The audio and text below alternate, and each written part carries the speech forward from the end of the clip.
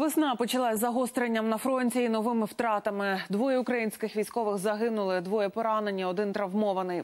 Минулої доби російські окупанти 117 разів атакували позиції наших бійців в зоні АТО. Гранатомети, кулемети, стрілецьку зброю, великокаліберну артилерію найманці застосовували по всіх напрямках. На Донецькому гатили з танків та БМП, на Луганському з БТРів. По Широкиному та Новотроїцькому вогонь вели снайпери. По Мар'їнці БМП противника. З гранатометів, великокаліберних та стрілецької зброї Зайцеве, Верхньоторецьке, Невельське, Богданівка, Авдіївку та Луганське.